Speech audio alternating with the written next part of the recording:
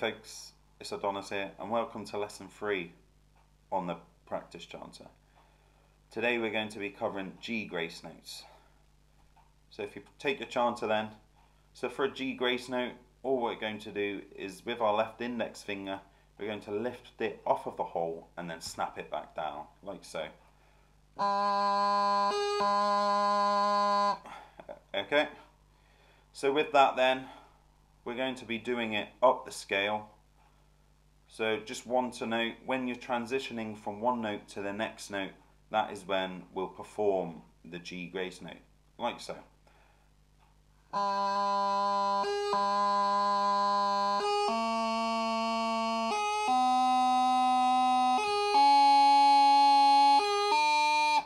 Okay, so playing it at slow speed then, we'll now make our way up the scale, like so.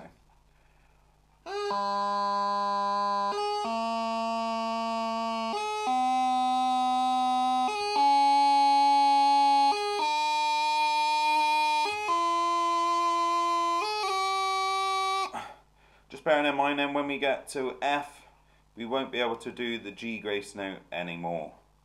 So with that in mind then, we're just going to go straight back down the scale playing the G grace notes, like so.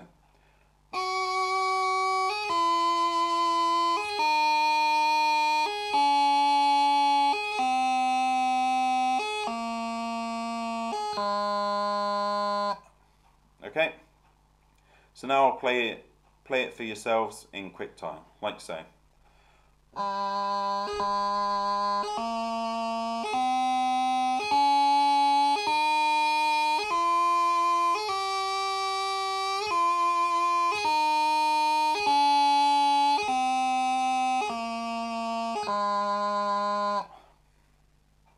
and that is G grace notes up and down the scale.